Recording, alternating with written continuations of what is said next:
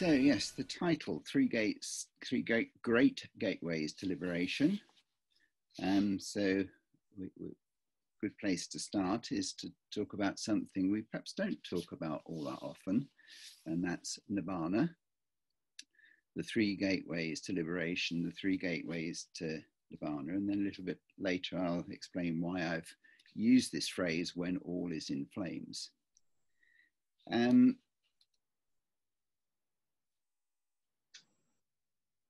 state of nirvana, the place of perfect peace and perfect happiness. So it was always thought that it was impossible to depict nirvana in any way. And I was quite surprised to come across um, some material where artists had actually set out to do just that, to depict Nibbana. Um, in particular, uh, a rather delightful book, um, Picture Books of the Three Worlds, um, comes from Thailand. And so sometimes the attempts to depict Nirvana were just to draw or leave an empty space on the painting or on the picture.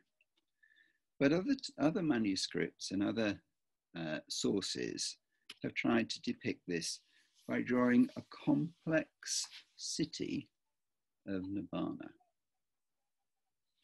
And I felt this was a useful place to explore what these gateways are, because one thing very common with any depiction of cities, and the Buddha used the image of the city in many different ways in different teachings, some of which you'll be familiar with. Possibly the most well known one is in the Dhammapada.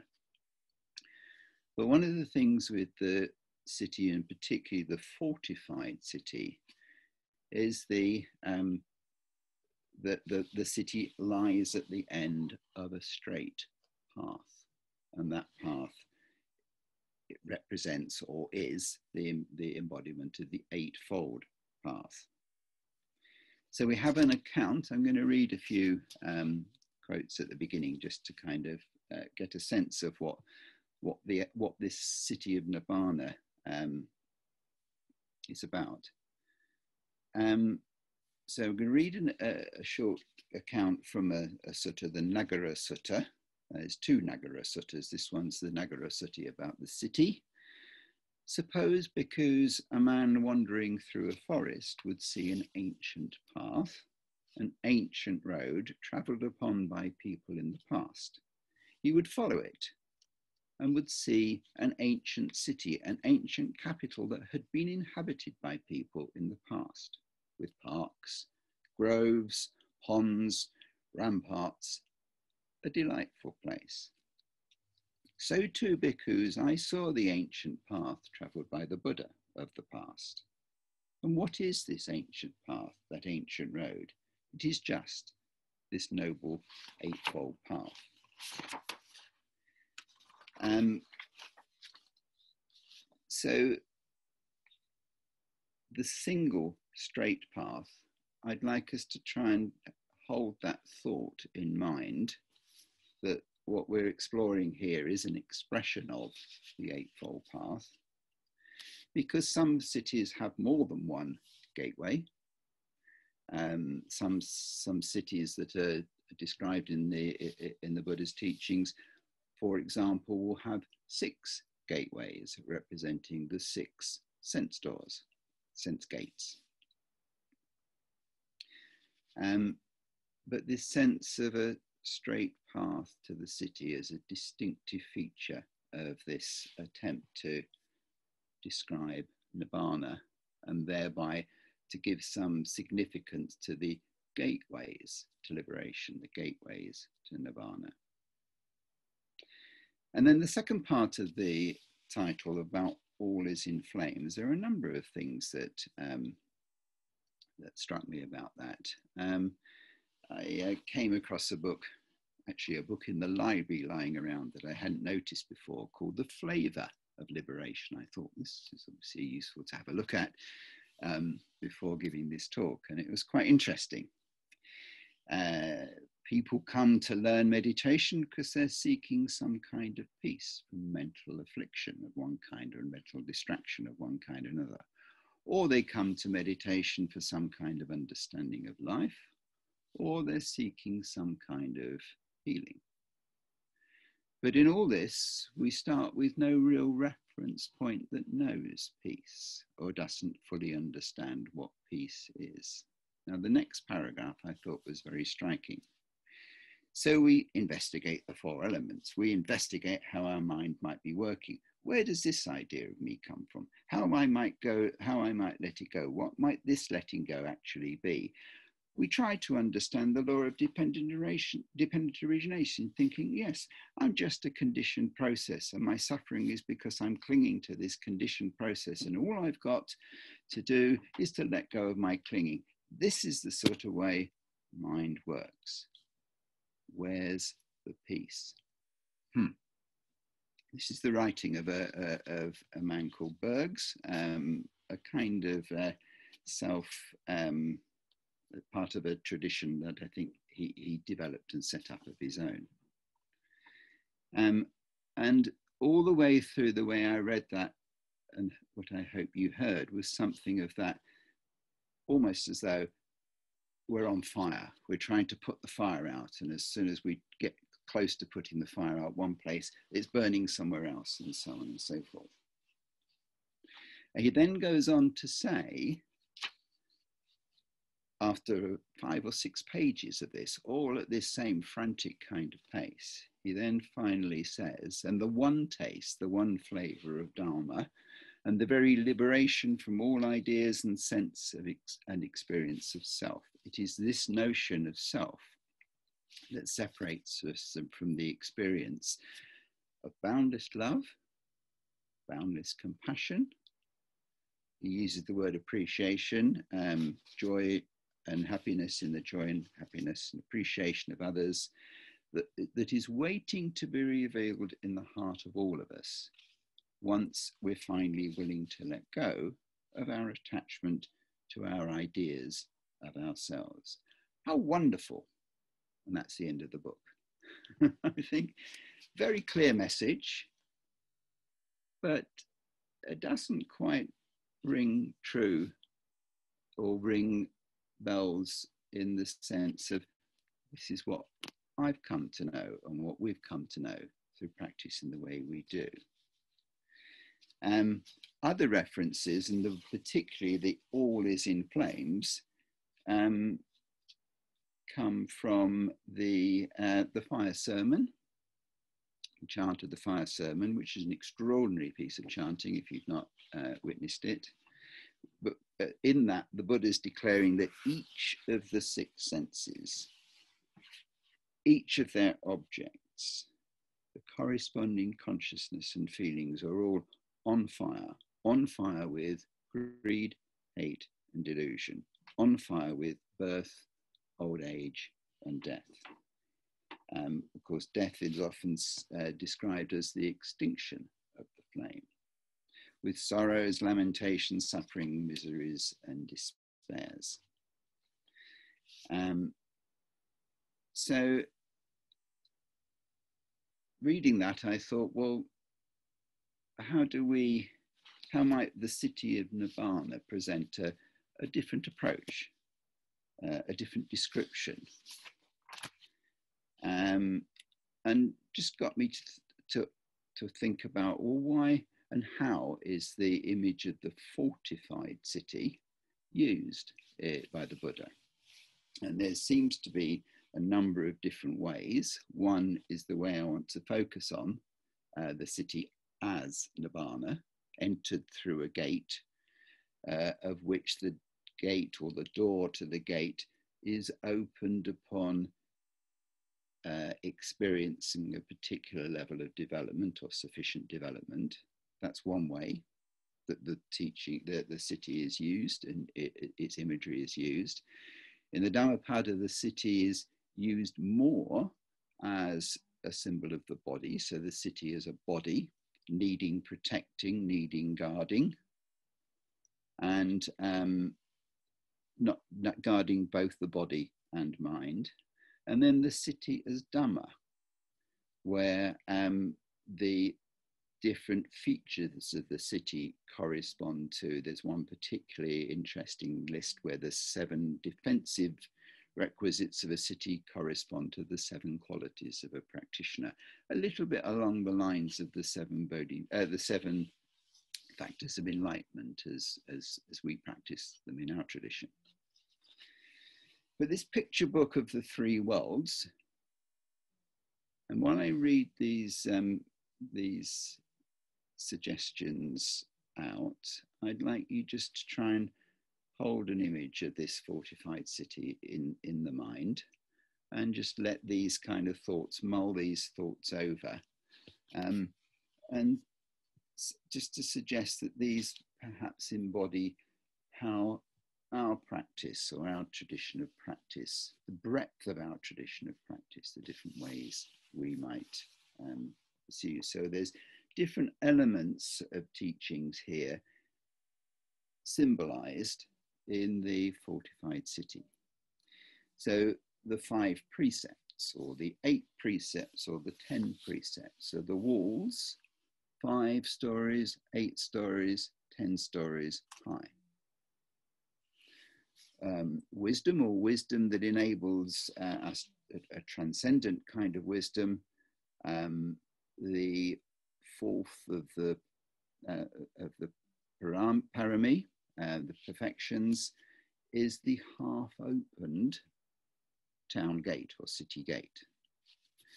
Um, the method of conditional relations is the stockade. The stockade is the thing that built is built to kind of confine and uh, and, and hold in place animals and, and, and humans and so on and so forth. The method of conditional relation, showing how all things are interconnected and tied together and how things um, affect each other.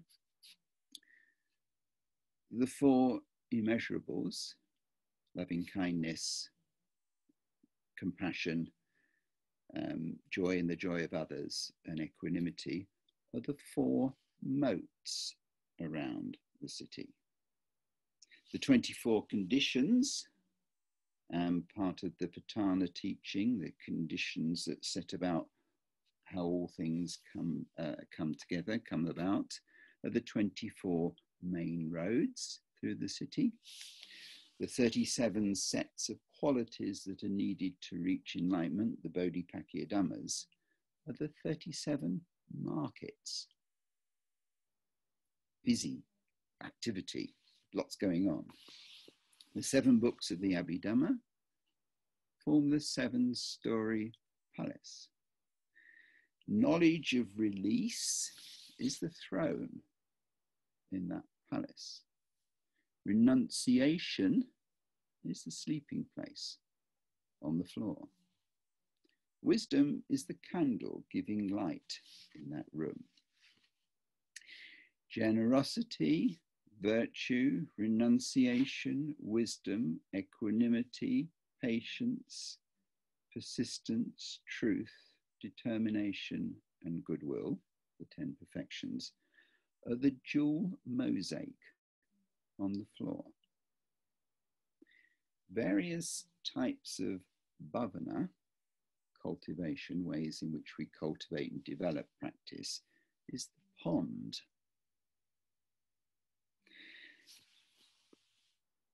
Karuna or Maha Karuna, great compassion, is the cool water. And the arahats who have escaped all evil deeds are the types of bees who suck honey. Arahats who have successfully abandoned all blemishes and sinfulness are the peacocks, cranes, ducks, swans who sing beautifully. And that's one particular formulation or description associating qualities or practices with what's embodied in this fortified city. Some of you know the Mahasudassana Sutta, where some similar, um, the, the, the, last part with the 10 different types of crying and sounds and so on, um, uh, for example, is, uh, is there. So I thought it might be nice to have a short time together doing a little bit of visualization of this or, or of the city, if you're uh, open to this, just to um, not, not a particularly long period of time, but just to um, get a feel for what this kind of uh, imagery symbolism is used for, can be used for, and to see how that may embed qualities into the samatha or the samatha vipassana practice, particularly the samatha part of the practice. Um, so, can I suggest we um, sit comfortably? Um, we don't have to sit on the floor for this, I don't think. Uh, you, you, can if you will. It's not going to be a particularly long practice, but, uh, but just to do some visualization together to make some kind of connection with this material around the city of Nirvana. I'd like you first just to let the breath go quiet and settle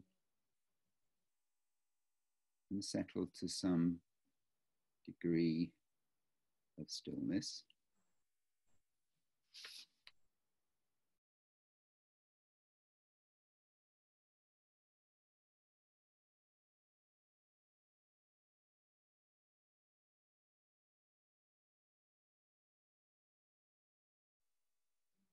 And as a group, we're going to set off and go to uh, the city, the city of Nibbana. We're going to visit the city of Nibbana and just get a taste and glimpse of whatever comes up in our mind, maybe in visual form, maybe more a feeling. But in order to um, set off on the journey, I'd like you to imagine you're handed an object to take with you. The object comprises the four great elements earth, water, fire, and air in some way, some way um, embodies those. And from our point of view, they represent counting, following, touching, and settling. Now, with this kind of visualization, we can just simply say, go to the city and just take ourselves directly there.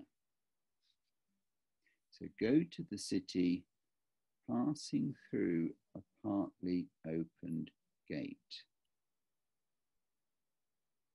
And just note the qualities of the gateway. You'll have passed over at least one of the moats representing the immeasurables.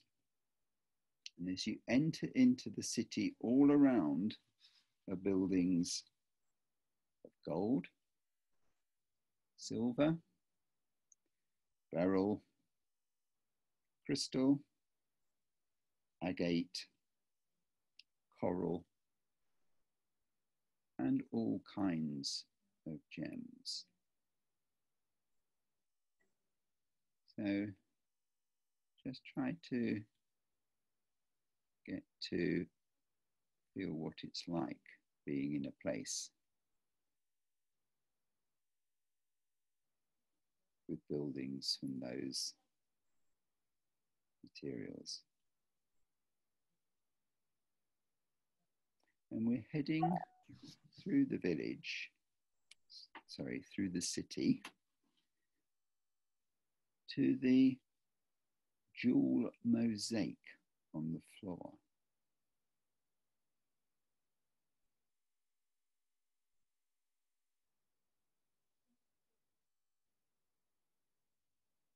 So if we gather by the jewel mosaic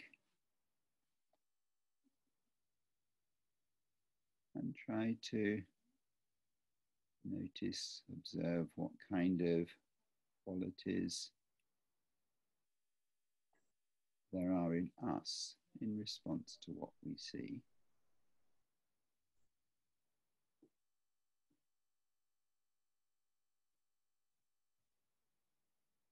And then we move away from the mosaic and go to sit quietly by the pond. Pond representing different types of bhavana cultivation. And we'll spend a couple of minutes practicing in whatever way you wish while sitting quietly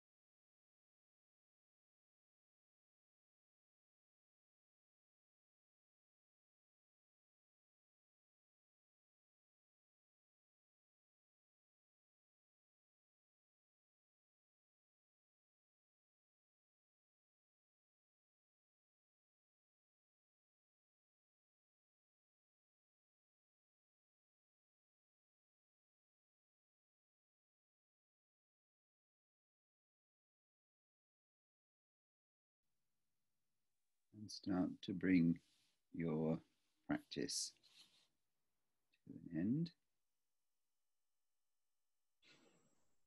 And return to your room, wherever you are, becoming aware of contact with the ground, contact with the chair, and being present back in the body, fully back in the body.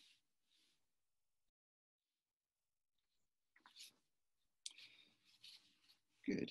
Now, it would be a bit tricky if I asked you all for your comments. And some of what you'll have experienced um, may well be quite personal. Um, and some of what you'll have experienced may well, in a discussion kind of context, might well enable any one of those teachings or any other teaching to become that little bit more based in direct experience. So I want to spend another 15 minutes or so just introducing some of what's described. It's not a very easy material, on the three gateways as described in the, um, the teachings. In particular, I'm drawing from book called The Path of Discrimination.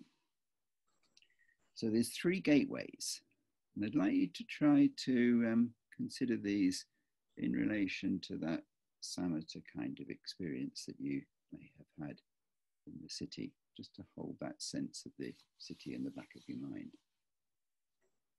So, three different gateways to liberation leading to freedom from the world.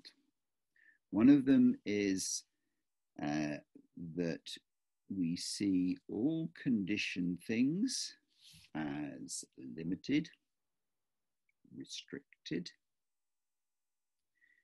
um, and that our knowledge and awareness of that points us towards the signless gateway. The signless gateway. So the signless gateway has no signs, no forms. We can't, um, there's no particular characteristic or attribute. It's signless. It's beyond our normal conceptual thought. And for me, I remember an occasion, I have a feeling Ian Rose was around at the time, oh, years and years ago. He took us into a, a cave, a group of us, into a really, really dark cave. I mean, not just, you know, grey, but absolutely dark. We were in the cave and uh, had no idea, no sign of any form. And he asked us to move, move around in that cave. There were a group of us, not just one of us on our own, but a group of us. And yes, you could sense others. That wasn't too difficult. But sensing where the walls and stone and rock were were very, very interesting. I found myself, I still remember it really vividly, about a fraction of an inch in front of a rock and not knowing it was there. You know, so that's that's a good sort of way into the signless for me. That was a, a, a useful kind of no clues, no signs, nothing to provide, nothing to provide any kind of light. Um, as, as that that's what the quality of signlessness. Um, the word translates from a nimitta, so the without nimitta. Um, so some may recognize that in, in relation to formless meditation practice. Um, the second of the gates is called the desireless or wishless or aimless gateway. And we know um, just what uh, heart craving plays in understanding of the, the noble truths, that uh, second noble truth, um, and in particular, the craving for sensual pleasures, the craving for existence, and the craving for non existence, uh, given as a pretty comprehensive kind of set of where our desires arise from. So, the second way, the second gateway, is through a state uh, without desire, free from desire. Um, un, and, and, and the way it's described is rather than the seeing of all formations, the stirring of the heart and mind with respect to all formations. When we see that as limited and restricted, that takes that opens us to the awareness and the knowledge of the desireless principle. So it, it, there's a sense there, because we're talking about desire and, and, and feeling, of something much more in an emo- of an emotional kind of quality, at least initially. But the gateway, the gateway is there through desirelessness. Desirelessness. That's right. Um, one of the uh, authors, uh, Walpola Rahula, some of you may know, uh, when looking when describing um, tanha, um, craving, uh, desire, craving, includes desires for and attachments to ideas and ideals, views, opinions, theories, conceptions, and beliefs. Well, that's fairly, fairly all encompassing, isn't it? And of course, we know how much we invest in all those and how useful they are too, and how we need to put them down. And the third of the gateways, um, voidness or emptiness, um, starts with the statement the seeing of all ideas as alien and to the entering into awareness and knowledge of the void principle. So the alien um, is a very strong word, really, for the for the nature of ideas. Well, I like ideas, you know, I enjoy ideas. I like to have 25 ideas before breakfast, you know. Um, but of course, how often do our ideas actually manifest in the way we first had the idea? Sometimes with some closeness, sometimes a long way away.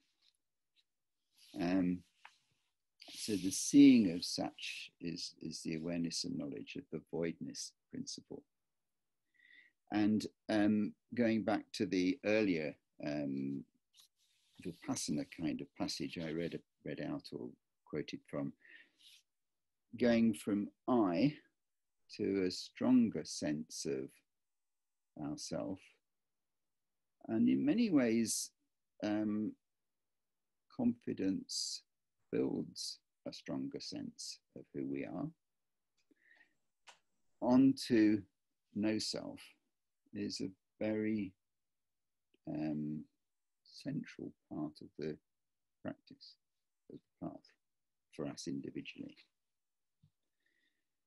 And then each of these three gateways, through working with the insights into anicca, dukkha, and anatta, then are given a, a quite um, grand titles. So the first, through working through impermanence, um, through the signless, leads to the great gate. It's either called the great gate of resolution or the great gate of faith. Um, and here, this I think, I hope makes very clear that the, the use of the word faith here is quite different from what was talked about earlier as belief. Um, so one of the night one of the phrases I like the best that um, that that tells says something to me about faith. Faith is this is from Tagore. Faith is the bird that sings to the dawn while it's still dark. Or the biblical one, faith is the assurance of things hoped for and the evidence of the reality of things not yet seen. Um, and so it's quite clear that the great gate of faith um, is nothing cognitive about it. That being able to um, develop and step into and through that gateway um, is very much um, a sense of liberation by faith. Um, the second, the one that was um, concerned with the desireless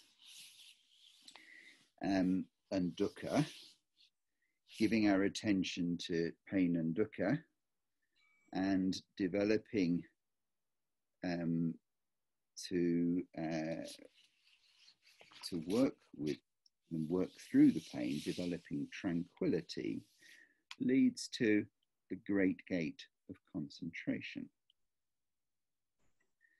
Um,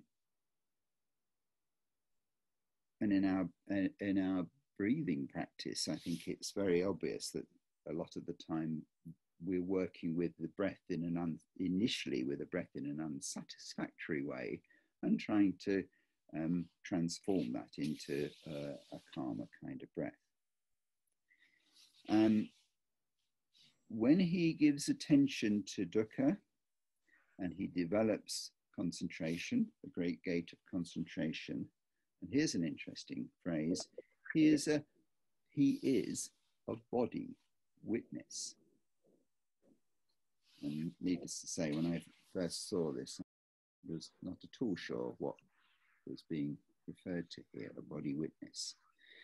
Body witness is the translation of kaya sakkhi. Kaya means body or, or the general accumulation, collection, grouping of things.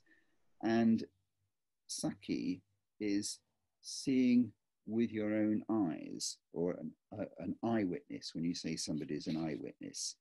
Um, so it is literally um, somebody who has realized and gained some benefit concerning the body. And it makes sense to me why um, the Boran Kammatthana, the old ancient traditions, um, pay this emphasis, which we, we pay, pay to, to the importance of the body as part of the practice. That we're not just dealing with the head and heart, we're dealing with the, with the body. Um, um, and so much so that in some of the Boran Kammatthana practices, um, the, the instructions are very clearly about developing a subtler body, or sometimes called um, a, a, phrase that we don't use too much, but maybe we know something of, developing a Buddha body.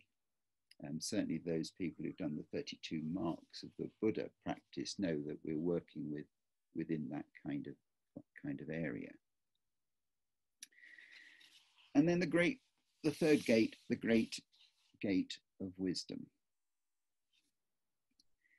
Um,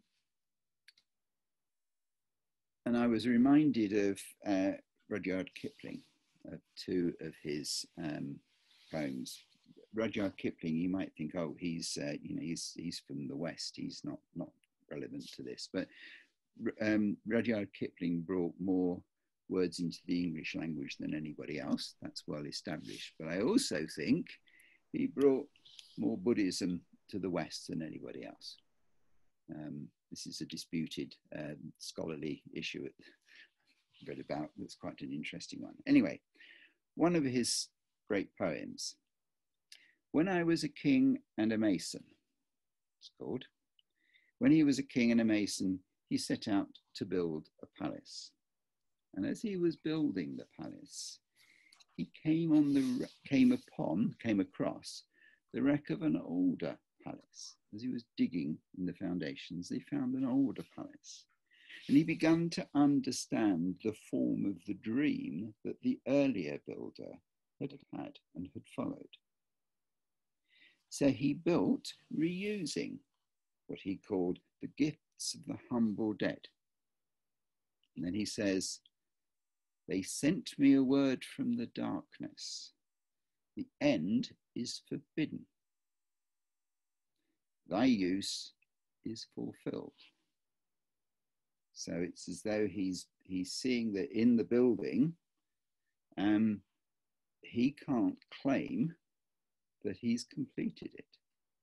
He can't himself, uh, his his sense of self can't claim to have completed it. His use has been fulfilled, and so Kipling then says in the last line, so he cut on the timber, he cut out on the timber the phrase, after me, cometh the builder. Tell him, I too have known. Quite interesting. Yeah.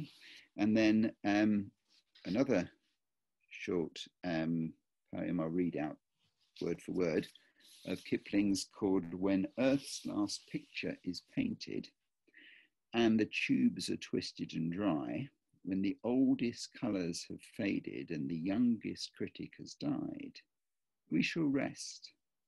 And faith, we shall need it, lie down for an aeon or two, till the master of all good workmen shall put us to work anew. And those that were good shall be happy, they shall sit in a golden chair, they shall splash at a ten league canvas with brushes of comet's hair. They shall find real saints to draw from. They shall work for an age at a sitting and never be tired at all. And only the master shall praise us, and only the master shall blame, and no one will work for the money, and no one will work for the fame, but each for the joy of the working, and each in his separate star shall draw the thing as he sees it, the things as they really are.